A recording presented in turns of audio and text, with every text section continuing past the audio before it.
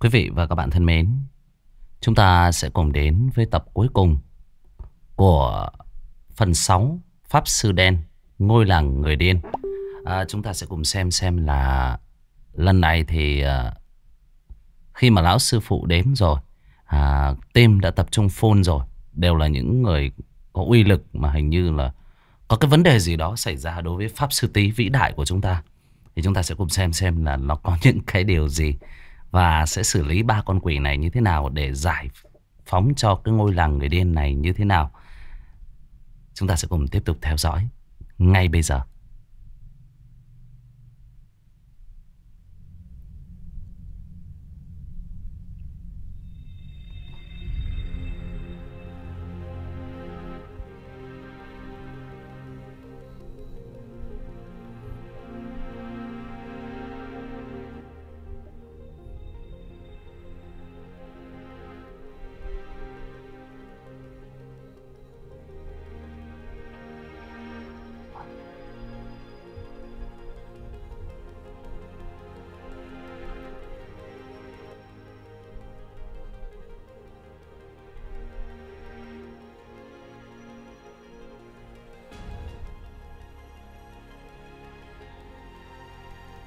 Ấy quay lại nhìn con độc nhãn Đứng đó cách không xa. Ánh mắt lạnh lùng Làm cho con quỷ giật mình. Nó trốn tránh không dám nhìn vào thằng Tý. Thằng Tý một lần nữa xông lên. Chưa đi được mấy bước Đằng sau lưng đột nhiên có động. Từ dưới đất một cơn gió xoáy Nhỏ dần, nhỏ dần Sau đó cuốn cát bụi bay lên. Lão sắc quỷ rú lên một tiếng. Này, à, nó sống lại À không giết được nó. Chính là con bách diện. Bây giờ nó đang tụ lại hình dáng ban đầu. Thằng tý lại bổ một đao, Xông tới. Ngay khi con bách diện vừa hình thành, Lại ăn một nhát chém của thằng tý. Con quỷ kêu lên oai oái. Mày cứ đợi đấy Mày không giết được tao đâu. Mày không giết được tao đâu. Thằng tý vẫn đứng đó, Biết con quỷ kiểu gì cũng lại hồi sinh. Bây giờ đã thế Ông đây cứ đứng đây chờ mày lên Rồi ông lại chém. Ây à Tao đợi mày đứng đây đấy Cái con quỷ bố láo Mày lại dám dọa bà Lão sư phụ trột dạ Bởi vì càng nghe càng thấy giống giọng điệu Của mụ lan béo. Lão nghĩ có khi là do thằng tí Cầm con dao Cho nên bị linh khí do mụ lan béo bao năm tích tụ điều khiển. Con độc nhãn thấy thế vội vàng quay đầu chạy thoát. Nó biết ở đây nó cũng không thể nào làm chủ được tình hình. Bây giờ chạy trước, sau này tính sau. Nó còn chưa kịp quay đầu chạy, đen đã nhận ra ý định lao đến đứng chắn trước mặt của nó mà cười cười. Sao vậy? Định chạy nữa sao? Bà nãy còn tự tin lắm cơ mà. Đen cầm kiếm, xông lên. Đâm một đường. Con quỷ còn lại một tay chật vật chống đỡ những nhát kiếm mạnh mẽ của đen. Lúc này cả hai lao vào chiến đấu, trực diện cọ sát, chứ không dùng bùa phép quỷ khí nữa. Ở bên kia con nhím tinh và con chó trắng vẫn cứ điên cuồng cắn xé. Con nhím tinh lúc này toàn thân cũng đầy vết thương, máu đen chảy khắp cơ thể. Thân mình con chó trắng cũng không khá hơn, bị gai của con nhím cào xước vô số trên thân. Lão sắc quỷ đã mất đi mục tiêu, đứng ngơ ngác một chỗ, nhìn trận chiến rồi cảm khái. Ây à, cha cha cha cha, bản quan sống đến mấy trăm năm, bây giờ mới trông thấy trận đánh như thế này à, cha cha cha cha, hay thật đó. Bỗng nhiên, một lá bùa bay lên làm cho lão sắc quỷ giật mình. Tiếng của lão sư phụ vang lên. À, yêu mà chúng mày chết rồi mà không an phận đi đầu thai, ở lại nhân gian muốn làm lực cản hay sao? Lão sắc quỷ sợ hãi tránh né lá bùa đang bám theo mình. Hồng đánh lên người mình. Chúng đòn này khẳng định là không hề dễ chịu. Ý, này, này, làm sao lại đánh bốn quan? Ờ, lão già kia người mù sao? Ờ, ta là người mình, là quân mình đó. Lão sư phụ nghe vậy, đưa mắt nhìn đen. Thằng đen vừa nghe thấy, liền vội vàng cười cười. Vừa tấn công con độc nhãn, vừa nói to. Thầy, thầy để con giải thích với thầy sau. Này chuyện không như là thầy nghĩ đâu. Con không có nuôi quỷ hại người. Là lão ấy tự tự đi theo con đó. Lão sắc quỷ được thể lại đổ thêm dầu vào lửa. À là hắn bắt bốn quan làm tay sai Bốn quan không biết gì hết à, Bốn quan vô tội Đen tức đến học máu Lão ỉ mẹ đi Lão có tin là tôi lém lão, lão xuống âm ty hay không Lúc này Lão sư một phụ bực bội Hờ mũi Mày mà không giải thích rõ ràng à, Tao đuổi mày ra khỏi sư môn đó Thẳng danh con à, Lo mà nghĩ. Lão sư phụ thu lại lá bùa Đang đuổi theo con sắc quỷ. Bấy giờ mới đứng lại lườm lườm. Chà chà Đúng là cái lão già Già rồi mà còn không phân biệt được phải trái Còn quỷ già Mày chửi ai vậy? Lão sắc quỷ liền mặt giáo hoành À, à, Bốn quan Nói mày nói rõ Nói cho gì người? À Mày chọn cái chết phải không? Hả cái con quỷ già mặt dê kia. Lão sắc quỷ biết Mình không phải là đối thủ Cho nên đành ngậm đắng nốt cay Nhịn xuống. Thế nhưng khuôn mặt vẫn cứ vênh váo. Tuy lão không đánh được Thì lão chạy. Đố lão sư phụ đuổi được. Chỉ là đúng lúc Với cái câu đố lão bắt được tôi. Con trâu thấy con chó đang bị con nhím tinh đánh cho chật vật. Bây giờ cũng quắc mắt, ọ lên một tiếng, Rồi hùng hộc xông lên, Dùng cặp sừng của mình Húc cho con nhím một nhát chí mạng. Con nhím bị hất tung lên không trung, Còn chưa kịp hiểu gì. Tiếp đó rơi bộp xuống đất, Từng cái gai nhọn trên lưng cắm sâu xuống đất, Làm cho nó nằm ngửa, Cố sức vùng vẫy lật người mà không được. Con chó nhìn con trâu, Ánh mắt cảm kích. Hai đứa chúng nó vừa gặp nhau đã thân, Cứ đứng đó nhìn chằm chằm, Mà không nói gì. Chứ thật ra, chúng nó có biết nói chó đâu. Thằng tí bây giờ đứng đó chờ con bách diện. Cứ con bách diện vừa tụ lại thành hình, Lại ăn một đao bổ xuống. Từ nãy đến giờ không biết đã bao nhiêu lần, Làm cho con bách diện muốn khóc cũng không nổi. Mặc dù nó có thể hồi sinh, Nhưng mỗi một lần như vậy, Nó cũng đau đớn Vô cùng. Trên bầu trời lúc này Bỗng nhiên ánh trăng vàng dần dần bị che khuất, Thay vào đó, Mặt trăng nhuộm một màu đỏ như máu. Một trận cuồng phong lạnh lẽo Mang theo hơi thở từ địa ngục quận lên, Mây đen vần vũ ầm ầm. Còn độc nhãn bấy giờ Mới ngửa mặt cười vang. Là trăng máu. Đúng là trăng máu. Là trời giúp ta hoàn thành đại nghiệp. Sừng bà cõi trần gian. Lũ con người chúng bay, Tận số rồi.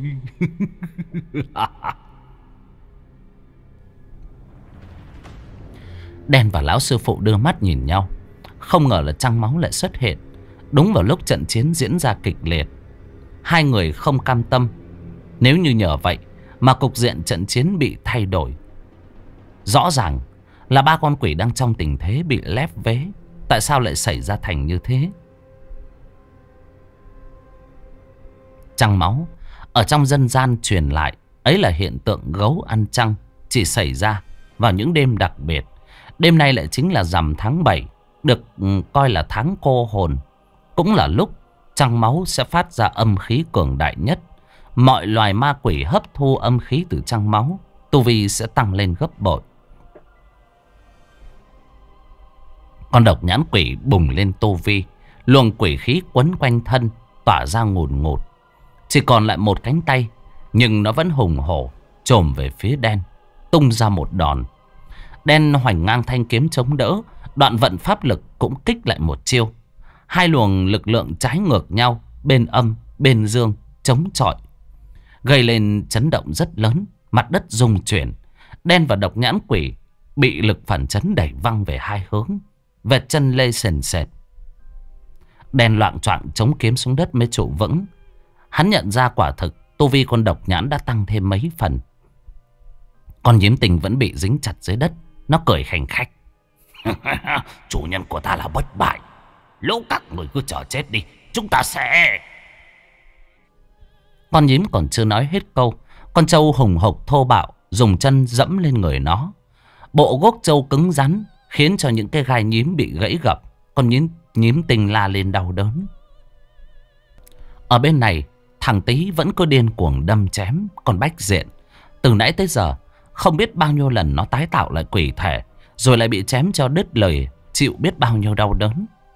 Căn bản là trăng máu cũng không thể giúp cho nó mạnh lên được mấy phần Là vì nó được hình thành từ sự xấu xa độc ác Tà tâm của con người Vốn dĩ đã không trong lục đạo. Giọng nói mai mái của thằng Tý Vẫn cứ chòe chóe vang lên. Tiền sư còn đĩ này, Sao mày ra như đỉa thế? Mày vẫn chưa chết à? Bà thì bà trả đâm mày, Bà chém mày đây này. Dường như đến giới hạn chịu đựng, Con bách diện khóc ré lên. Thằng béo, Tao Tao thả xuống âm ti chịu tội, Còn hơn là ở đây cho mày đâm chém. Thằng béo.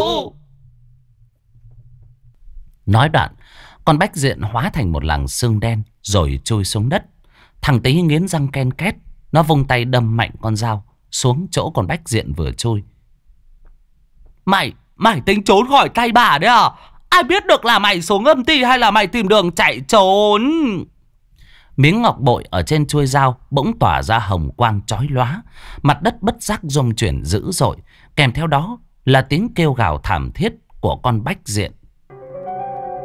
Những khe nứt xuất hiện, chạy thành vòng tròn rồi sụp đổ xuống xung quanh thằng tế. Từ những khe nứt đó, ám khí không ngừng tỏa ra, dường như con bách diện bị vây hãm trong vòng tròn, không thể chạy đi đâu được. Một vòng xoáy đen ngòm ngòm xuất hiện ngay sát thằng Tý, như muốn hút tất cả vào bên trong.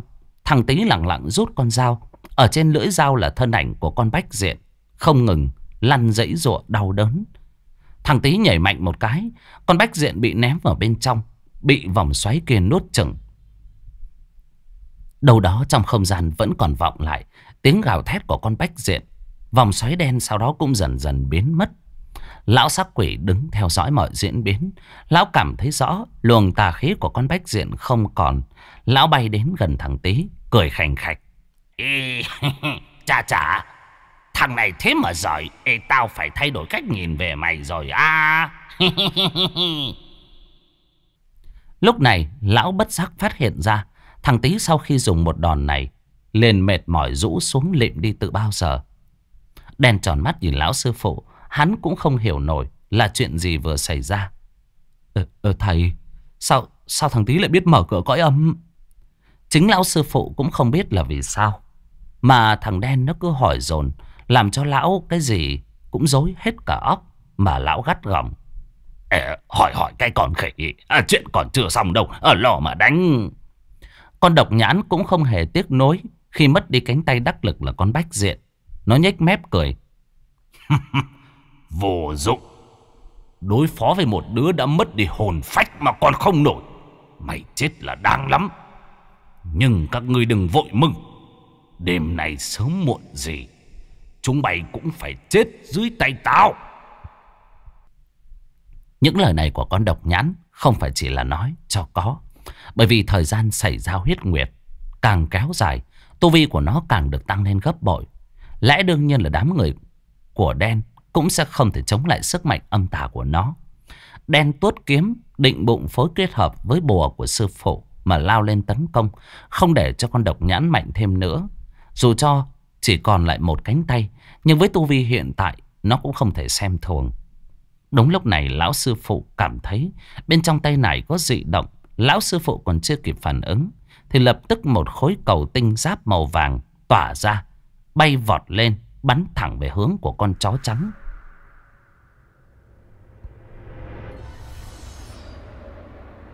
Lão sư phụ đã nhìn thấy qua một lần khi còn ở nhà. Cho nên bây giờ cũng hiểu ngay ra vấn đề. Chỉ là đen thì khác. Hắn chỉ tay vào viên ngọc, miệng lắp bắp. Thầy, đó, đó là cái gì? Này, thầy lại vừa tạo ra cái quái gì vậy?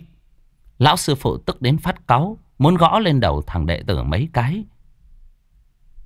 Này này, mày đang đánh nhau đó. Lúc nào mày cũng hỏi đông hỏi tây là sao? Ở bên kia, con độc nhãn cũng dừng cười. Mắt nó chừng chừng nhìn theo chuyển động của viên ngọc tinh giáp. Con chó trắng cào cào đất mấy cái, nhún chân lấy đà rồi vụt lên, ngậm lấy viên tinh giáp, nhốt thẳng vào trong bụng. Cơ thể của con chó trắng bỗng nhiên bùng lên ánh sáng. Dường như con trâu và con chó đều đã hấp thu được tinh hoa của huyết nguyệt. Tới lúc này là thời điểm bùng lên sức mạnh. Chúng nó bắt đầu có sự biến đổi. Bỗng chốc không còn đứng bằng bốn chân nữa, từ từ vươn cao, đứng sừng sững như con người. Yêu khí mạnh mẽ tỏa ra xung quanh, vô tình làm cho khí tức khiến con nhím tinh đang dính ở dưới đất cũng khó chịu. Nó kêu lên oai oái. Chủ nhân, cớ vậy! Tại sao hai con súc sinh này lại mạnh lên như vậy? Chủ nhân! Thân thể của con trâu dường như đang thu lại. Cái bụng tròn tròn như cái trống. Từ từ săn lại. Hai chân trước nổi lồi lên cơ bắp cuồn cuộn. Hai chân sau to và dài ra. Nó đứng thẳng bằng cả hai chân. Loáng thoáng không khác gì như một con người. Với cơ thể này, đoán chừng nó có thể chuyển động mau lẹ hơn. Nó đưa con mắt xanh lè lè, nhìn con nhím tinh. Đùng một cái, một chân dẫm mạnh, nó tung mình lên cao, đạp xuống. Lực đạo lần này còn mạnh gấp bội phần khi nãy. Con nhím bị dẫm bẹp rốn chết ngay lập tức, không kịp kêu lấy một tiếng. Quỷ thể tan tành thành một vũng nước đen ngòm ngòm, bốc lên mùi tanh tưởi khó chịu.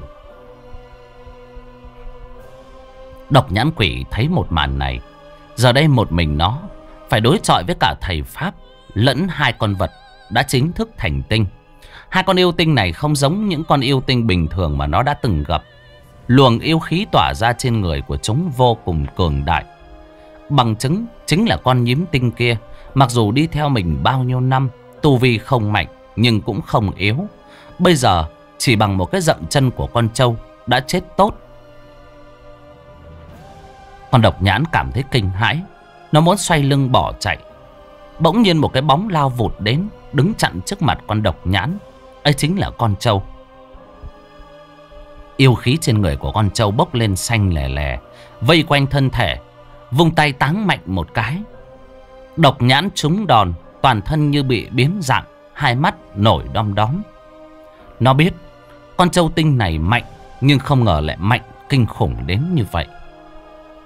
Con chó trắng thân hình Cũng bắt đầu co lại cơ bắp quần quận, Chỉ khác một điều là bộ dáng nó nhỏ hơn. Nó xông đến phối hợp với con trâu, Há miệng cắn một nhát lên cổ con độc nhãn, Giật mạnh, Toạc một mảng da Quỷ huyết xanh lè lè Bật lên. Đồng thời con chó Vươn cái móng vuốt Xuyên thẳng một nhát, Độc nhãn quỷ ré lên đau đớn. Con mắt của nó bị đòn vừa rồi chọc mù, Nó bắt đầu mở miệng. Tha cho tao Tao Tao Tao sẽ xuống địa ngục chịu tội. Tao Tao sẽ Sẽ cho chúng mày Toàn bộ yêu lực của tao Để chúng mày có thể hoàn toàn Hóa thành nhân hình. Con trâu và con chó Không giống như đen Chúng nó chỉ cần phát hiện tà khí là đánh Chúng nó tiếp tục lao lên cắn xé Con trâu tóm lấy cả hai tay con độc nhãn, Vận lên yêu khí, Xé toạc con độc nhãn ra làm đôi Hai nửa thân thể đổ gục xuống dưới, chảy ra những dòng dịch thể bầy nhảy, đen đặc ghê tởm. Đen và lão sư phụ nãy giờ dường như không thể tin vào những gì vừa xảy ra. Bỗng chốc, cả con trâu và con chó đều hóa thành yêu tinh. Lại có thể phối hợp giải quyết con quỷ độc nhãn một cách dễ dàng mà dường như chẳng tốn sức lực. Hai thầy trò run lên bần bật. Lão sắc quỷ lúc này tiến lại gần chỗ đen mà run lẩy bẩy. Chà chà, chết mẹ tao rồi đen ơi. Chết mẹ tao rồi. Chà chà, chà chà. Bây giờ con chó này nó hóa thành yêu tanh. Tao làm sao mà đánh nổi đen ôi?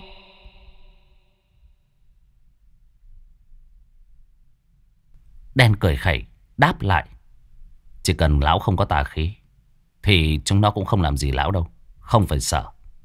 Ở trên bầu trời Ánh trăng lại sáng vàng vặc. Dường như huyết nguyệt cũng đã kết thúc. Con trâu và con chó rũ mình một cái Ánh sáng lập lòe Trở lại hình dáng nguyên bản ban đầu Như chưa có chuyện gì xảy ra Điều này là cú đả kích Làm cho đen và lão sư phụ lại càng khó hiểu Không có lời giải Lúc này xác con độc nhãn Có một đốm sáng màu đỏ bay lên ấy chính là nguyên thần của con độc nhãn. Đen và lão sư phụ còn chưa kịp làm gì. Thì từ trong lùm cây, một thân ảnh bất ngờ lao ra, cướp lấy nguyên thần của con độc nhãn, rồi mất dạng. Lão sư phụ bất giác dùng mình, cảm thấy luồng quỷ khí ấy hết sức quen thuộc. Lão chợt nhận ra, đó chính là con quỷ giấu mặt. Đã giúp con quỷ đến tận nhà của lão, cướp ngọc tinh giáp. Lần này nó ở đây xuất hiện, cướp đi nguyên thần của con độc nhãn. Không lẽ là nó vẫn luôn bám theo lão, nhưng không có hành động. Có điều nó cướp nguyên thần của một con quỷ ở cấp quỷ linh để làm gì? Ông cũng không hiểu nổi. Thằng Tý ngủ say trên lưng con trâu già, đám người quay lưng, chuẩn bị về làng báo tin. Bất giác một cơn gió nổi lên. Ở gốc cây có chôn cốt nguyền rủa thân ảnh một người từ từ xuất hiện. Trên người vận bộ đồ của đạo sĩ, đen đoán ra ấy chính là vị pháp sư năm xưa, đã ra tay cứu giúp dân làng, phong ấn, bầy ma chống quỷ, hy sinh bản thân mình tạo ra cốt nguyền rủa. Vị pháp sư chắp tay rồi lên tiếng. Đa tạ các vị đã ra tay tiêu diệt yêu ma. Giờ đây cốt nguyền rủa bổn đạo lập ra đã được phá giải. Cũng đến lúc bổn đạo phải đi. Chỉ mong các vị có thể hoàn thành tâm nguyện cuối cùng của bổn đạo. Đen cung kính. Pháp sư, đã vì mọi người, không ngại xả thân mà đối đầu với loài quỷ dữ. Chúng tôi vô cùng ngưỡng mộ và cảm phục. Ngài còn điều gì muốn nói? Chúng tôi nhất định hoàn thành tâm nguyện. Bổn đạo đã coi nơi này như quê hương của mình. Xin các vị mang hài cốt của bổn đạo về sư môn chôn cất. Bổn đạo xin để lại đây một tia hồn thức để bảo vệ dân làng. Còn lại, hải cốt cũng xin hóa đi để được thanh thản. Nói dứt lời, thân ảnh của vị pháp sư tan biến. Đèn tiến đến gốc cây thỏ vào tay bên trong, lấy ra bộ cốt nguyền rủa, sắp xếp gọn gàng vào trong một cái túi vải, khoác lên vai. Rồi tất cả đi về làng, tới nhà của anh Thuận. Sau khi diệt hết ba con quỷ, giả làm thần linh trên nối, luồng yêu tà không còn, cảnh vật xung quanh bỗng chốc như thay đổi, trở nên thanh bình đẹp đẽ. Đen cùng với lão sư phụ dắt con trâu theo đường mòn trở về. Thằng tí nằm trên lưng trâu, vừa ngủ vừa phun nước bọt phì phì. Con chó trắng lúc nào cũng là sung sức nhất, luôn chạy vượt lên trước, dẫn đường. Lão sắc quỷ vuốt vuốt cọng dâu dê, bay là là theo sau. Nhớ lại trận chiến lúc trước mà gật gù. Ai à, con chó này là không tệ. Chỉ có điều vẫn còn kém lắm so với bổn quan à. Đen đang trong lúc mệt mỏi Cho nên cũng chẳng buồn đối co với lão sắc quỷ Lão vốn là quỷ Lại có mấy trăm năm tô vi Lại có cơ duyên luyện hóa được tâm tinh Sức mạnh cũng không có tầm thường Giờ Lão lại đem bản thân ra mà so cao thấp với con chó Lão sư phụ mỉm cười Ông cũng chỉ vừa mới biết đến những người bạn đồng hành mới của đen Dù lời lão sắc quỷ có chút không có đúng đắn Nhưng về cơ bản ông nhận thấy Lão quả thật là một con quỷ chính tu lại có thực lực, có thể giúp đỡ được cho đen rất nhiều việc trong hành trình trừ ma diệt quỷ. Bây giờ cũng đã đến canh ba, đám người về được đến nhà của anh Thuận. Đang vô cùng lo lắng bồn chồn đến không cả ngủ được, hai tay siết vào với nhau, cứ đi loanh quanh ra ra vào vào. Vừa trông thấy đen, anh Thuận vội vã chạy đến mừng rỡ. Chú đen, chú đen, tình hình thế nào? Anh, anh lo quá ạ. Đen đặt tay lên vai anh Thuận Mỉm cười nói ngắn gọn Anh yên tâm Bọn quỷ đã bị tiêu diệt cả Ngày mai có thời gian Em kể cho anh nghe Nói đoạn chẳng đợi đen có phản ứng Cùng với lão sư phụ bước vào trong buồng Ngả người nằm lên đống rơm dạ Vì quá mệt mỏi Cho nên chỉ trong chốc lát Tiếng ngáy đều đều vang lên Con trâu cũng lách qua cánh cửa Nghiêng mình một cái Thằng tí ngã xuống đống rơm ngay cạnh bên đen. Cú ngã cao như vậy, đánh huịch một cái. Thế nhưng thằng tí vẫn ngủ ngon lành. Mồm miệng nước dãi vẫn nhẻo ra dòng dòng. Như thể nó lại được lạc đường vào trong một giấc mơ đẹp đẽ. Có cơ man đồ ăn ngon. Suy cho cùng, dù bị mất đi hồn phách hay không. Thì căn bản bản chất tham ăn tục uống của thằng Tế Vẫn không hề thay đổi Đến lượt con trâu, Và con chó cũng há mồm ngáp dài Chúng nó đi ra ngoài đầu hè, Nằm xuống lim dim Lão sắc quỷ bây giờ chẳng còn ai trò chuyện cứ huyên thuyên lâu cũng chán. Lão chui vào bên trong miếng ngọc Tu luyện, Phục hồi lại tu vi đã bị hao tổn Qua trận đại chiến. Anh Thuận thấy đám người châu chó Ngủ chung Một đống Ở trong gian nhà của mình Thì cũng ngạc nhiên, Nhưng cũng không dám làm phiền. Anh nhẹ nhàng nhón chân, Tránh gây ra tiếng động. Nhìn con bé Lệ cũng đang say trong giấc nồng. Anh khẽ vuốt tóc con, Nở nụ cười hiền. Dù cho tới đây, Con bé có còn trở lại bình thường được hay không Thì nó vẫn luôn Là đứa con bé bỏng ngoan ngoãn Mà anh hết mực thương yêu.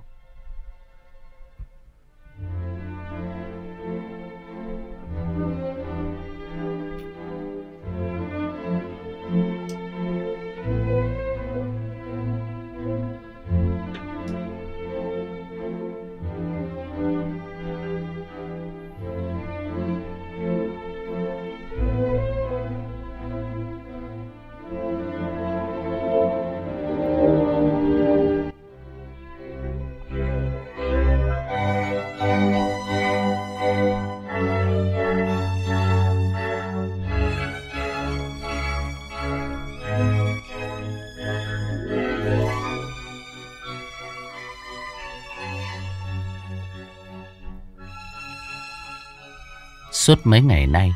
Vì lo lắng cho con, Anh Thuận cũng chẳng chợp mắt được. Anh lim dim rồi gục đầu xuống ngủ thiếp đi. Trời vừa tảng sáng, Đen và lão sư phụ đã dậy trước, Bước ra bên ngoài Làm vệ sinh cá nhân, Rửa mặt mũi cho tỉnh táo. Hai thầy trò trải một lớp rơm dạ mỏng ở ngoài sân, Ngồi trâu đầu ngâm cứu, Lật dở những trang sách Trong cuốn huyền không đạo thuật Mà đen đã lấy được từ nhà của ông trưởng làng. Tuy nhiên hai người cũng chỉ tìm phương thức để triệu hồi hồn phách cho người đã mất. Chứ cũng không có ý định học trộm tinh hoa của những đạo phái pháp khác.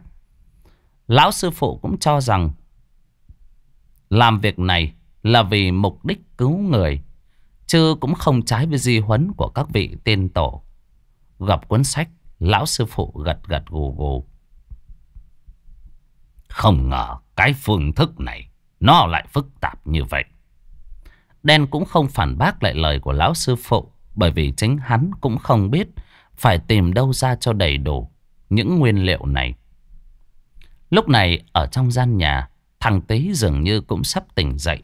Đôi mắt lêm dim, tay chân khua múa loạn xạ. Ê, Đèn ơi, Đèn ơi, C cứu tao với, Đèn ơi, có quỷ, à, có quỷ Đèn ơi. Thằng Tý vốn chẳng còn nhớ được những gì xảy ra, Kể từ lúc bị con quỷ bắt hồn phách. Mọi chuyện đối với nó giống như một giấc ngủ, Mở mắt ra là tỉnh. Bây giờ trông nó hoảng loạn lắm, Vẫn còn nguyên si cảm giác Đêm hôm trước nó gặp phải. Thằng Tý mở mắt, Thấy nguyên một cái đầu đen xì xì, Lại có cái xoáy trăng trắng, Cặp sừng dài nhọn hoắt. Cái miệng nhe ra đỏ lòm lòm, Chẳng có cái răng nào.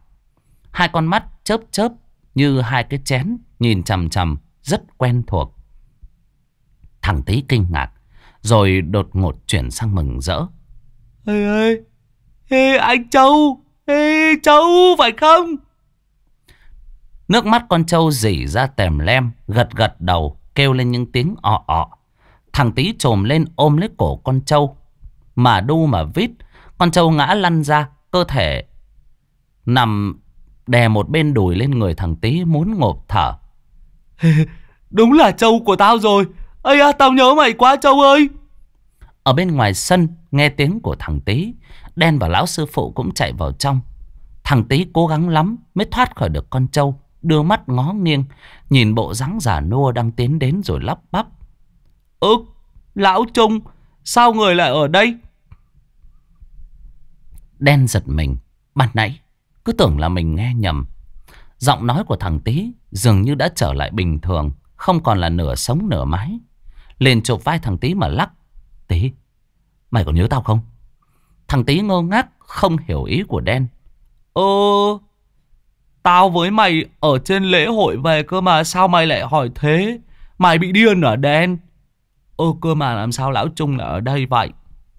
Đen vô cùng vui mừng bởi vì thằng Tý đã trở lại là chính nó. Lão sư phụ.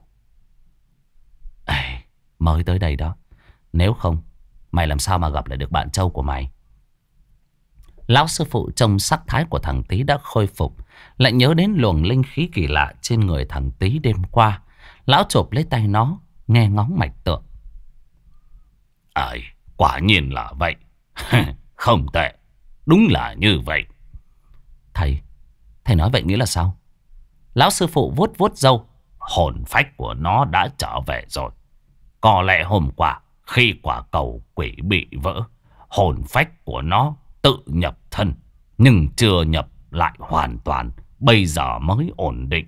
Hơn nữa, ta còn thấy linh khí trên người của nó đang quy tụ lại tầng kinh mạch thứ nhất. Vậy là chẳng mấy nữa, nó có thể đã thông được tầng kinh mạch này này. Nghe đến đây, đen ngoạc mồm, tỏ ra ganh tị. Này thầy, người có nhầm hay không? Còn đây phải cực khổ tu luyện, mất cả năm trời mới có thể đạt thông được tầng kinh mạch thứ nhất. Sao sao cái thằng béo này nó không có làm gì, mà nó lại có linh khí? Này, vô lý chứ. Lão sư phụ hừ một tiếng giải thích. Ây da, thằng tí này vốn dĩ. Nó có bát tự thuần dương. Dương khí cực kỳ hùng thịnh. Lại à, đi cùng với mày. Hàng yêu trừ quỷ. Ở tiếp xúc với không ít âm khí. Âm dương kích ứng, ở tác động đến kinh mạch. Vừa rồi trải qua sự tình kia. Lại kích phát được linh khí ẩn giấu trong cơ thể. Cái này là thiên phú. hay Giống như mày có được thiên phú cho đôi mắt âm dương còn gì. Chỉ có tao đây này là phải tự thân vận động. Đi lên từ con số không. Tao còn không nói gì thì thôi. À mày ghen tất cả hay gì. Đen gân cổ lên cãi. Nhưng mà, nhưng mà thầy không thấy như thế. Là bất công với con à. Lão sư phụ hở giọng mũi đáp giáo hoành. Bật bật cái đầu mày ấy. Mà bất. Mày lo tiếp tục tu luyện. Mà đả thông hết các kinh mạch còn lại đi. Thằng tí nó mới chỉ sắp đả thông được tầng thứ nhất thôi. Nó còn chưa có kinh nghiệm. Chưa thể tự do điều khiển được linh khí trong người. Muốn trở thành pháp sư. Còn xa vời lắm. Thằng tí nghe lão sư phụ nói như vậy. Nó trồm lên mừng rỡ. Ê, lão Trung, người không lừa con đấy chứ. Vậy là con có thể trở thành pháp sư. Lão sư phụ gật đầu cười gượng, đoạn nói. Có thể hay không, ấy là phụ thuộc vào ý chê của mày. Nếu như mày không cố gắng, thì linh khí trong người co cũng chỉ là ồ. Thằng tí cười hề hề. Hê, con chăm chỉ lắm, sẽ không để người phải thất vọng đâu. Hê, vậy là người đồng ý nhận con làm đệ tử, phải không? Không, tao đã nói rồi. Đời tao chỉ được phép đơn truyền một đệ tử. ấy là thằng đen. Thằng tí nghe đến đây thì cụt hứng, khuôn mặt buồn so. Thằng đen tiến đến vỗ vai nó. Hay là mày bái tao làm sư phụ, rồi tao dạy phép cho mày cũng được mà. Thằng tí liền dãy đành đạch. Còn lâu, tao mà làm thèm đệ tử, làm đệ tử của mày à? Hơ? Điên à? Lão sư phụ xua tay, tránh để cho hai thằng này làm nhảm với nhau. Thôi được rồi, chuyện ấy ta khắc có tính toán. Hai đứa mày im lặng xem. Anh Thuận nãy giờ đứng một bên, nhìn thấy mấy người này nói chuyện với nhau mà ồ ồ cạc cạc, không hiểu gì. Cái gì mà linh khí, rồi cái gì mà đả thông kinh mạch, tầng nọ tầng kia, loạn hết cả lên. Anh sốt ruột. Ở chú đen, ở, chú, chú có thể kể tôi nghe mọi việc được không? Mấy con quỷ đấy bị bị tiêu diệt như thế nào? Thằng tí cũng ngây ngô. Hê phảo rồi, tao cũng muốn biết. Mấy ngày qua tao làm ra những chuyện gì đó đen? Đen thở dài, kích ấn lên viên ngọc, rồi khẽ gọi. Lão xa quỷ, lão xa quỷ, bây giờ lão lên đây, kể lại sự tình cho hai người bọn họ giúp tôi đi. Đúng cái nghề lắm mồm của lão rồi còn gì Anh Thuận nghe đến chữ quỷ Thì giật mình mà lắp bắp ừ, Quỷ quỷ nào vậy Chú đen quỷ nào Đen mỉm cười chấn an anh đừng có lo. Lão quỷ này không có hại người đâu. Trận chiến ngày hôm qua cũng là một phần công sức của lão đó. Đoạn đen đưa cho anh Thuận một lọ thuốc, Bảo anh quẹt lên trên mắt. Anh Thuận không hề do dự làm theo. Lão sắc quỷ chui ra ngoài ưỡn ngực, Bay là là trước mặt của anh Thuận. Ánh hào quang từ trên quỷ thể của lão lập lòe, Trông cao cao tại thượng, Như thể là ông bụt vậy. Tuy có điều khuôn mặt dâm dê đê tiện của lão thì không hề thay đổi chút nào. Anh Thuận tưởng lão là tên thật, Vội vàng quỳ xuống, Mà vái nấy vái để Lão sắc quỷ cười hề hề, Đoạn hắng giọng. Mày đứng lên, Cha chả. Không thì thằng kia nó lại dí cho bốn quan mấy cái lá bùa bây giờ. Cha chả, Chúng mày muốn biết thì để bốn quan nói cho mà nghe. Ở Câu chuyện nó như thế này. À là như thế này. Đoạn này à, bốn quan vô cùng oai phong à, Thể hiện thiên uy quần quận. Như thế này. Đấy xong rồi bổn quan như thế này. Rồi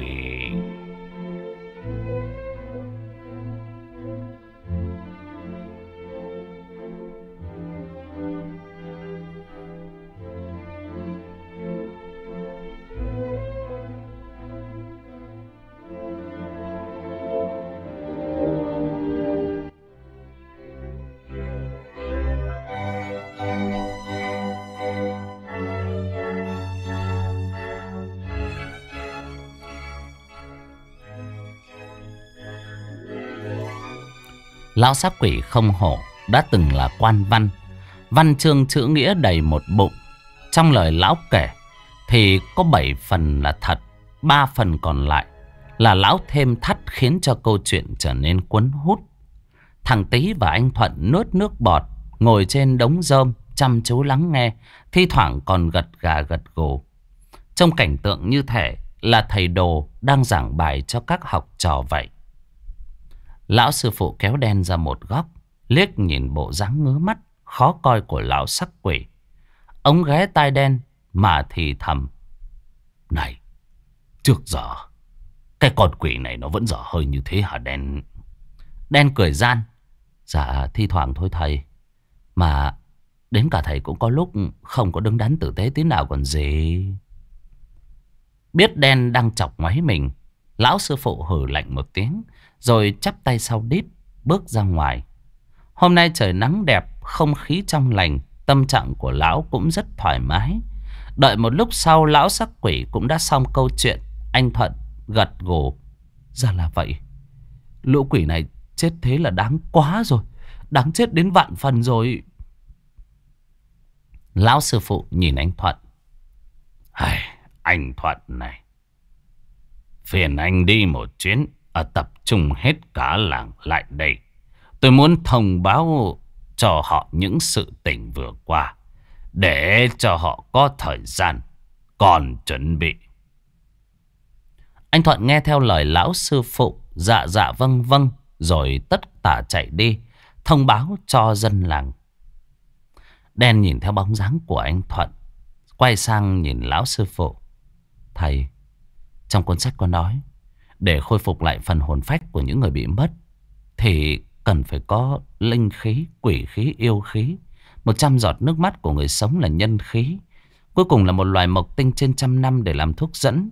Linh khí thì có thể lấy trên người con với thầy Quỷ khí thì có thể lấy trên người lão quỷ Yêu khí thì có con trâu con chó. Một trăm giọt nước mắt thì cũng có. Thế nhưng Bây giờ mình lấy đâu ra mộc tinh tu luyện trăm năm? Lão sư phụ cười cười một tiếng, đoạn lấy trong tay nải ra cổ nhân sâm. Ngàn năm tu luyện, còn có chứ. À, cái này mày không cần phải lo. Đen cầm cổ nhân sâm trong tay lão sư phụ, nhăn mặt. Này, người đừng có lừa con nít. Nhân sâm ngàn năm chứ. Có phải là thứ dễ dàng thích có là có. Người, người lấy đâu ra cái củ khoai còi này rồi lừa con vậy? Đen nói thế không phải là không có lý do. Bởi vì trước kia, hắn cũng hay theo lão sư phụ đi đào nhân sâm. Thế nhưng cùng lắm cũng chỉ là những củ nhân sâm bình thường, 6-7 năm tuổi. Nhân sâm vài chục năm còn chưa thấy bao giờ. Nói gì đến nhân sâm ngàn năm. Thế nên bàn nãy hắn cũng chỉ nhìn qua, coi như ấy là một củ nhân sâm bình thường. Lão sư phụ gắt lên. Mày mở cái mắt ra mà nhìn cho kỹ. Tao bằng từng nay tuổi rồi mà còn phải đi lừa mày à. Chứ chẳng nhẽ ông lại đấm cho phát. Nói đoạn, lão sư phụ dịu giọng, kể lại cho đen nghe một lượt những sự việc đã trải qua. Trong đêm lão thu phục thảo tinh. Đen nghe xong nhếch mép cười nham hiểm.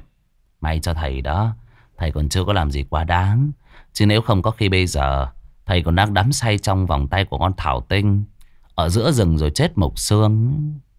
Còn nhớ gì đến sư mẫu Nhắc đến mụ lan béo, Lão sư phụ mỉm cười, Sờ sờ vào con dao ở bên hông cũng may là có con dao bà ấy đưa cho phòng thân ờ, Chứ không thì À mà thôi Chuyện ấy kể sau. Bây giờ tập trung lo sự trước mắt. Đen nghe lão sư phụ nói đến chuyện mụ lan béo Liên quan đến con dao Trong lòng cũng tò mò. Hắn cũng đã tận mắt chứng kiến luồn sát khí trên con dao Còn mạnh mẽ hơn có phần thanh kiếm của mình. Tuy nhiên lão sư phụ cũng đã giáo trước Cho nên hắn cũng không dám hỏi thêm. Khi nào muốn thầy khắc tự nói. Lúc này người làng nghe anh Thuận gọi cũng lục tục kéo đến. Người bình thường lẫn người điên đều đông đủ. Tiếng người nói chuyện nhốn nháo cả khoảng sân. Tất cả đều không hiểu Làm sao anh Thuận nhất nhất phải bắt họ đến đây. Chờ thêm một lúc Thấy không còn thiếu ai. Lão sư phụ ra hiệu cho mọi người trật tự. Bà con, nghe ta nói. Thời gian vừa qua, làng ta bị ba con quỷ chấn giữ, giả làm thần linh, lừa gạt lòng tin của người làng. Khiến cho nhiều người vì vậy mà giao hồn phách của mình cho loài quỷ dữ. Nay quỷ dữ đã bị chúng ta diệt trừ, bà con có thể sống yên bình, không cần phải tổ chức lễ hội tê thần. Cũng không cần phải lo Chuyện người bị điên điên dại dại Người làng không hay biết những gì đã xảy ra Lại cho rằng đám người lạ này đang lừa phỉnh Báng bổ thần linh. Tất cả giận dữ buông lời chửi bới mắng nhiếc Nói ra những lời khó nghe. Anh Thuận phải đứng ra chấn an. Mọi người bình tĩnh. Những lời sư phụ vừa nói Hoàn toàn là thật. Chính ông trưởng làng đã đứng sau mọi chuyện Tiếp tay cho loại quỷ dữ. Vị sư phụ mời mọi người tới đây là muốn giúp người làng chúng ta, giúp những người bị điên trở lại cuộc sống bình thường. Những lời này của anh Thuận chưa đủ để cho người ta tin tưởng. Họ tiếp tục hoài nghi. Này, cậu Thuận, cậu nhất định là bị đám người này lừa rồi. Phải đấy. Hay, chú đừng tưởng là ông trưởng làng không có ở đây. Chú muốn nói gì thì nói. Bố con chú, tốt nhất là lên cút khỏi làng đi. Đừng để thần linh quả phạt ảnh hưởng đến cả làng. Anh Thuận cúi gằm mặt, hứng chịu cơn thịnh nộ và những lời miệt thị của người làng. Lão sắc quỷ không nhịn được cái đám dân ngu này, lão gầm lên. Cha chả, thằng Thuận, mày nói với đám người làng này bảo là chờ ở đây. Ở bốn quan sẽ đi lôi cổ thằng trưởng làng về đây đôi chất. Để xem chúng nó có còn mắng chửi được hay không. À, chứ bốn quan không nhịn nổi nữa rồi. Cha chả, bố tiền sử Chứ bốn quan lại đấm cho mấy phát Nói đoạn Lão sắc quỷ bay đi Đám dân làng sau một hồi mắng chửi. Chán chê Cũng định quay về. Tự dưng không đâu mới sáng sớm ngày ra Đã mua bực vào người. Anh Thuận vội vàng chạy ra cổng Giang tay chặn lại. Xin mọi người tin tôi Trưởng làng sắp đến đây rồi. Mong mọi người nán nán lại một chút thôi. Đợi ông ấy tới là rõ thực hư. Người dân trong làng chẳng ai muốn ở lại đây thêm một giây phút nào nữa. Hơn nữa, lấy lý do gì để cho họ tên trưởng làng đến đây, rồi tự nhận mọi tội trạng. Ở trên đời này, làm gì có ai ngu như vậy. Mặc cho mọi người đánh mắng, anh Thuận vẫn kiên trì giang tay, đứng chắn trước cổng. Một người đàn ông bước ra chỉ vào mặt anh Thuận. Được, chúng tôi sẽ đợi. Nhưng nếu như mọi chuyện không như những gì chú nói Chúng tôi nhất định là đuổi chú ra khỏi làng đấy. Vĩnh viễn không được quay về. Chú có đồng ý hay không? Anh Thuận bất đắc dĩ gật đầu. Bây giờ anh cũng chỉ có chờ mong vào tin tức từ lão sắc quỷ. Không biết lão có bắt được vị trưởng làng về hay không? Ở phía trên nhà, đen cùng với lão sư phụ và thằng tế cũng chỉ biết ngồi yên chờ đợi. Bởi vì lời nói của họ ở đây vốn dĩ là không hề có trọng lượng. Có khi lại càng làm cho dân làng trướng tai gai mắt. Một hồi lâu sau, từ phía cuối con đường vang lên giọng nói quen thuộc, khiến cho dân làng đồng loạt quay sang nhìn. Để, để tôi đi, ờ, ờ, được rồi, để tôi đi. Vị trưởng làng xuất hiện, tóc bị xách ngược lên, đầu ngoẹo về một phía. Ông đi một mình mà mọi người lại cứ có cảm giác ông đang bị người ta tóm tóc lôi đi vậy.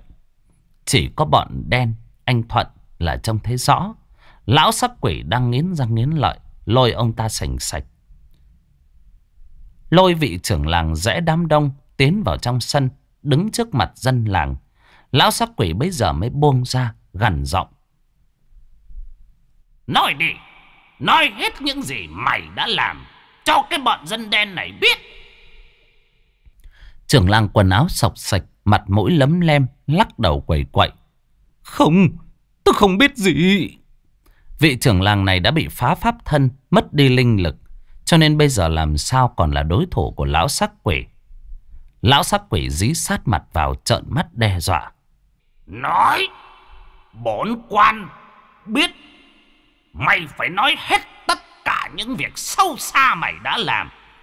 Bằng không, bốn quan sẽ rút đi một hồn một phách của mày để cho mày nếm thử cảm giác bị điên điên dở dở nó như thế nào. Đến đây thì ông trưởng làng sợ đến muốn đái cả da quần. Ông ta không muốn suốt quãng đời còn lại phải sống như một người điên như thế. Cho nên ông ta vội vàng quỳ xuống khóc lóc. mong mong bà con tha thứ cho tôi. Tôi chỉ là bị ép buộc. Nên phải làm tiếp những việc mà cha tôi từng làm. Những con quỷ kia đe dọa tôi.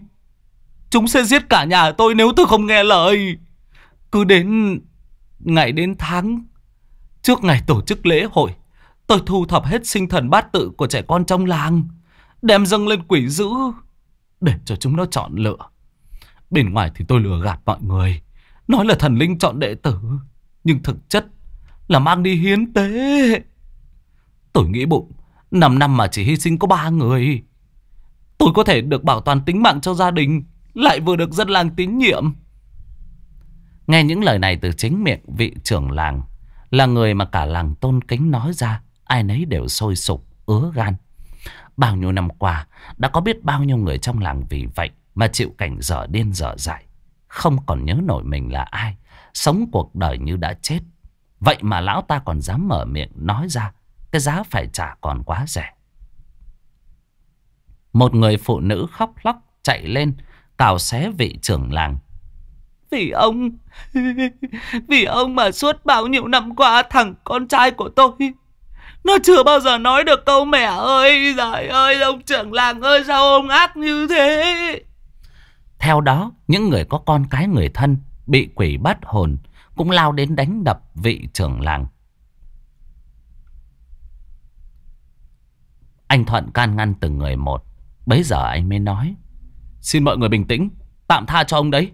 Quan trọng bây giờ là những con quỷ đã bị các vị sư phụ diệt trừ rồi. Từ nay dân làng chúng ta có thể sống trong yên bình, không còn phải lo lắng cái lễ hội 5 năm nữa. Nói đoạn, anh Thuận bắt đầu thuật lại cho dân làng những gì mà anh được nghe kể, không sót một chi tiết nào. Tất cả im lặng, không ai nói lên lời. Những cảm xúc lẫn lộn đan xen, từ giận dữ đến sợ hãi, xúc động. Trên khóe mắt của họ đỏ hoe, những giọt nước mắt lăn dài trên má. Bây giờ đen ngầm ra hiệu cho lão sắc quỷ. Lão hóa thân thành một quả cầu trong suốt bay vòng vòng quanh làng, hứng lấy những giọt nước mắt của họ. Người dân không biết đến sự tồn tại của lão sắc quỷ, cũng không để ý đến những giọt nước mắt của họ rơi xuống mà không chạm đất. Lão sắc quỷ mải mê đếm sao cho đủ vừa tròn 100 giọt nước mắt mà không hay biết. Thậm chí lão còn hứng cả một cục đầm to tướng xanh lè lè của một đứa con nít. Khi đã lấy đủ số nước mắt, lão bay về phía đen, định giao cho hắn.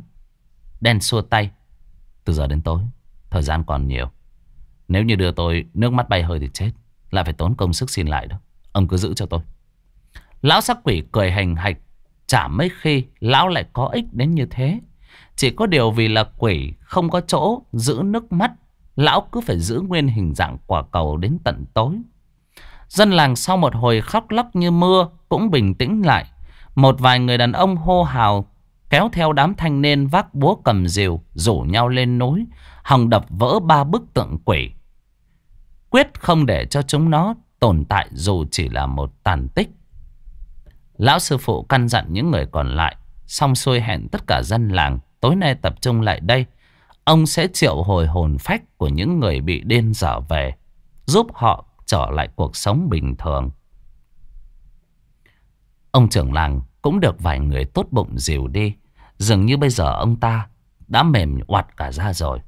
Anh Thuận được giao nhiệm vụ tìm một cái chảo thật to Cho nên cũng theo chân một người đàn bà sang bên ấy lấy cái chảo. Bây giờ trong nhà chỉ còn lại lão sư phụ, thằng đen và thằng tý. Thằng tý không chứng kiến những chuyện vừa rồi bởi vì là nó còn ngồi tâm sự kể chuyện cho con trâu nghe, thỏa cho những ngày xa cách. Kể về câu chuyện ngôi làng có con rết mà nó cùng với đen đã trải qua. Con trâu chỉ biết nằm im một chỗ, ve vẩy cái đôi, há miệng ngáp liên tục, nước mắt chảy ròng ròng. Chẳng gặp nhau thì thôi, mà mới gặp lại Thằng tí lại lôi nó ra hàn huyên Thời gian cứ như vậy Trôi qua Trời đã bắt đầu sầm tối. Người dân trong làng lại lũ lượt kéo đến tập trung ở nhà anh Thuận. Lão sư phụ đặt cái chảo xuống đất Đổ vào đó ba bát nước Tinh hoa của ngũ sắc hương Chính là nước bốc hơi Hay còn gọi là nước cất Bao gồm hỗn hợp của lá cây dâu tằm Lá cây du Lá cây chùa Lá đào Lá liễu. Để có được bát nước này, đen vàng tí đã phải dày công đôn đôn nấu nấu suốt cả chiều nay.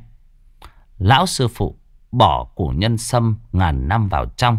Người dân vây quanh nhìn thấy thì khó hiểu. Không có kiềng cổi gì, có làm sao mà nhóm được lửa. Đen dắt con trâu tiến lại gần. Lão sư phụ lấy ra một lá bùa, dán lên thân con trâu, lẩm bẩm đọc chú. Rồi bắt đầu múa đao thi pháp Luồng yêu khí trên người của con trâu tỏa ra Hòa trộn với linh khí của lão sư phụ, Tụ lại trên mũi dao. Lão sư phụ hướng con dao đến cái chảo, Miệng quát to. Âm dương hỏa khí, Khai!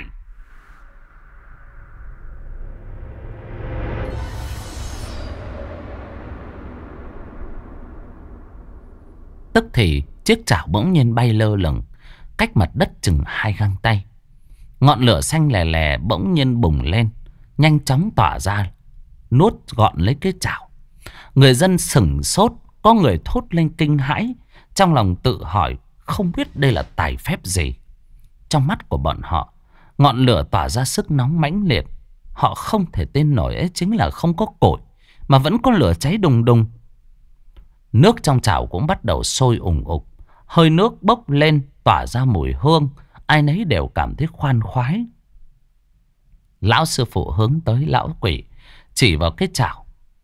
Đã đến lúc rồi. À, nhảy vào bên trong. Lão quỷ vẫn ở trong hình dạng quả cầu khói. Lên lắp bắp. Ừ, cha chả. Cái gì? Ông giả điên. Ông bảo ta nhảy vào trong cái chảo à? Ông đùa đấy à? à thế thì chết... Lão sư phụ không nói không rằng chộp lấy lão quỷ Ném thẳng vào trong cái chảo Lão sắc quỷ la lên choe choé Lão sư phụ cũng chẳng thèm quan tâm, Tiếp tục cùng với con trâu Bộc phát ra linh khí và yêu khí, Duy trì ngọn pháp hỏa. Mày nằm im ở đó, Đừng có mà ăn vạ. Ở bên kia, Đen cũng gật đầu. Lão sắc quỷ cũng không có kêu nữa, Nằm im trong cái chảo đang sôi sùng sục. Đoạn, Lão nhìn thấy rõ ràng là nước mắt của những người dân thì tan ra rồi. Thế nhưng tự nhiên có cái gì vàng vàng xanh xánh nổi lên lành phành. Lão bất giác nhớ ra. Trong lúc lão đi thu nước mắt, vô tình có một thằng bé con ngơ ngơ ngẩn ngẩn. Nó nhổ đánh tẹt một cái vào. Trời ơi, đen rồi, cục đàm, là cục đàm. À, bốn quan phải ngậm cả cục đàm suốt buổi chiều nay. Đen rồi.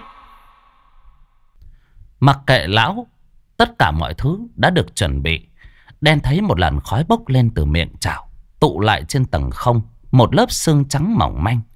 Điều này có vẻ như không giống ghi chép trong cuốn sách. Đen lập tức hiểu ra, ấy chính là linh khí và yêu khí để tạo ra pháp hỏa chưa đủ. Đen huyết sáo, con chó trắng chạy đến như đã chuẩn bị sẵn sàng. Đen lập tức đọc thần chú, tay múa lên khai phép, đưa linh khí của mình và yêu khí của con chó trắng tiếp thêm sức mạnh cho ngọn pháp hỏa. Pháp hỏa bùng lên dữ dội, tầng khói cũng bốc lên nghi ngút, tụ lại thành một lớp xương, mỗi lúc một dày, trông như đám mây thu nhỏ. Đoán chừng đã đến lúc lão sư phụ rút ra lá bùa, chứa toàn bộ hồn phách của những người bị bắt, kẹp giữa hai ngón tay, chỉ vào cái chảo, miệng đọc chú ngữ. Từ bên trong lá bồ tinh phách bay múa, trông như hàng trăm con đom đóm lập lòe vùng vẫy trong sương khói. Những sự kỳ lạ liên tục diễn ra, người làng mắt chữ O mồm chữ A, thậm chí có lúc còn không phân biệt được đây là thật hay là mơ.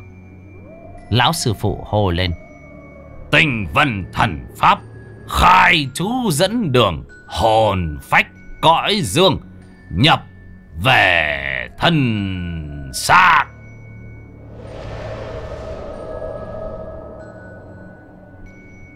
Dứt lời của lão sư phụ, những đốm tinh phách đồng loạt bay vút lên, tỏa ra ánh sáng mạnh mẽ, như những ngôi sao bay đến chỗ người dân đang đứng.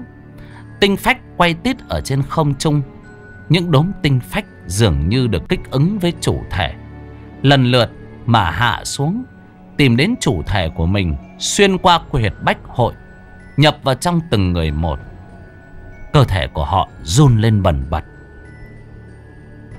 Trên khuôn mặt của những người kia Ánh lên sắc xanh sắc đỏ Cái đầu cứ gật gà gật gù lắc qua lắc lại Như là người say rượu Hình ảnh lúc đó Trông vô cùng kỳ ảo Thậm chí có phần ma mị kỳ quái.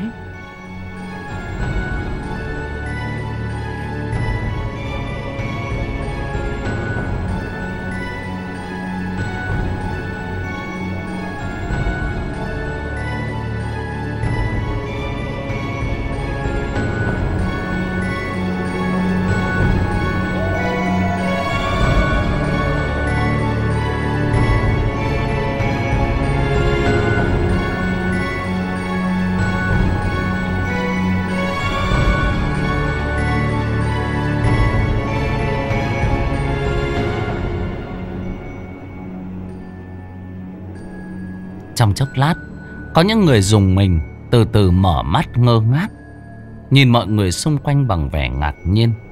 Không biết vì sao hôm nay lại có nhiều người tập trung tại đây như vậy. Phàm là những người mới bị quỷ bắt trong vòng 5-10 ngày, Hay là tính ra từ 15 năm trước, Hầu như sẽ tỉnh trước. Những người khác do thời gian trôi qua lâu Sẽ mất nhiều thời gian hơn Để cho cơ thể có thể tiếp nhận lại hồn phách. Duy chỉ có một điều khi tỉnh lại, Thì tính cách của những người này dẫn, vẫn giữ nguyên, Đúng như thời điểm bị bắt hồn. Cho nên có những người năm nay đã ba bốn mươi tuổi, Nhưng tâm hồn và cách nói chuyện Vẫn non nớt như năm mười tuổi. Ấy cũng là bình thường, Quan trọng là họ đã lấy lại được hồn phách, Sẽ không còn phải chịu sự đầy đọa. Rồi từ từ, họ sẽ thích nghi lại với cuộc sống. Con bé Lệ và đứa cháu trai nhà bà Cúc là một trong những người tỉnh lại đầu tiên. Thấy đứa con gái bé bỏng cất tiếng gọi cha quen thuộc. Anh Thuận không kìm được nước mắt, ôm chặt lấy con vào lòng. Bà Cúc rồi lần lượt những người làng khác cũng quỳ xuống chắp tay cảm tạ các vị ân nhân. Lão sư phụ và đen thật tình không dám nhận cái lễ lớn như vậy. Liền xua tay, bảo mọi người đứng dậy. Lão sắc quỷ bây giờ nhảy ra khỏi cái chảo, từ đầu đến chân nhơm nhớp Lão nhớ đến cái cục đầm khi nãy mà nổi hết cả da gà quỷ. Chà chà gớm quá lần sau có đánh chết bổn quan cũng không làm cái chuyện này nữa cha chà cha chà. Lão sư phụ chỉ lắc đầu cười. Cũng không biết phải nói sao. Con chó gầm gừ. Gừa lườm lườm lão sắc quỷ. Lão sắc quỷ cũng chỉ còn biết đường hóa thành một làn khói. Chui vào trong miếng ngọc. Mọi chuyện coi như đã xong. Trời đã bắt đầu về đêm. Trước khi dân làng từ biệt về nhà. Lão sư phụ còn dặn. Nên để cho những người vừa lấy lại được hồn phách. Thường xuyên tiếp xúc với ánh mặt trời. Để cải thiện dương khí. Cho đến khi mọi người đi hết. Anh Thuận và con bé Lệ ở trong nhà đang thủ thị tâm sự. Lão sư phụ bấy giờ mới lấy ra cổ nhân sâm nhét vào trong ngực áo. Này, thầy, hàng đã dùng rồi thì vứt đi chứ thầy giữ lại làm gì? Lão sư phụ gõ đầu đen một cái. Sao tao lại có cái thằng như mày chứ, hả đen? Cổ nhân sâm tu vi ngàn năm. Khi nãy mới chỉ dùng hết có trăm năm thôi. Còn chín trăm năm nữa đấy. Cái này mà mang về ngâm rượu uống. Cái thân già ta cũng như tao mới có sức. Mà chiều nổi mụ béo chứ. Hóng gió bên ngoài một hồi. Cơn buồn ngủ ập đến. Đen cùng với thầy bước vào nhà. Liếc mắt nhìn qua. Thấy hình tí đang ôm cái cọc tre ngủ ngon lành từ bao giờ. Có lẽ ngày hôm nay chạy ngược chạy xuôi nó cũng mệt mỏi lắm. Một đêm yên bình trôi qua. Trời vừa tinh mơ, đám người của đen đã vội vã, không từ mà biệt rồi lên đường. Nghiệp thầy Pháp nó vốn là như vậy. Trừ ma vệ đạo, chỉ vì mục đích duy nhất là cứu người, chứ không phải là để người ta mang ơn. Thằng Tý không cam tâm, bị gọi dậy sớm, nó mắt nhắm mắt mở, mồm ngáp liên tục. Một tay dắt trâu, một tay chấm nước bọt. Xoa xoa những vết mũi đốt Hia đen ơi lần nào cũng phải vội vã rời đi như ăn trộm ăn cướp Ít nhất thì cũng phải được một đêm ăn uống no say chứ ở đây không còn việc của mình nữa Mày tính ở lại thêm một hôm hai hôm để làm cái gì Chờ người ta đến người ta báo đáp ân tình à Thôi đi Lão sư phụ đi ở phía trước Chợt nheo mắt Trong cảnh lờ mờ Lão thấy dường như có rất nhiều người đang đứng ở cổng làng. Càng đến gần thì những thân ảnh càng hiện ra rõ. Trên tay của bọn họ lình kỉnh nào là gà, nào là vịt, nào là cây quả hoa màu.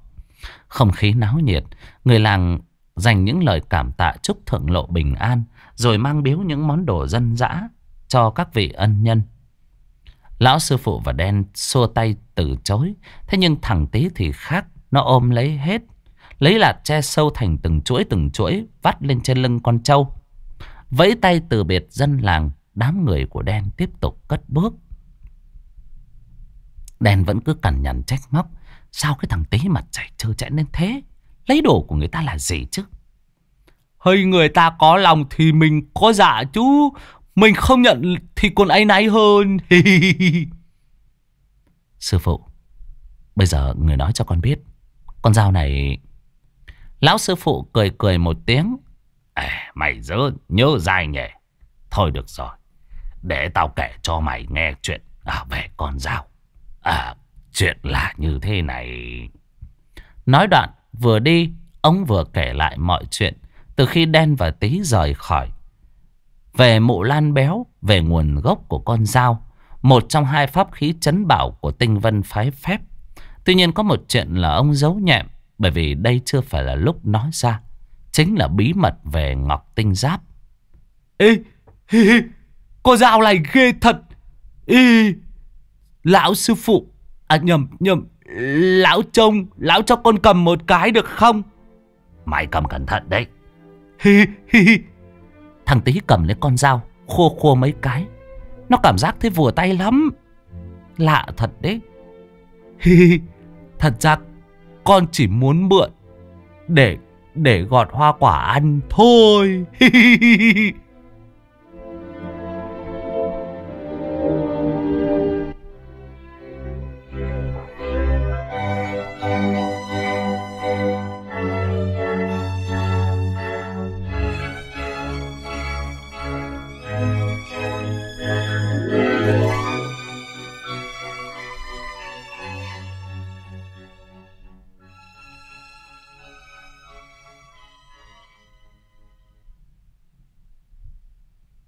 Hết tập 5 Hết phần 6 Kính thưa quý vị và các bạn à, Vậy là cuộc phiêu lưu lần này của Đen và Tí đã kết thúc.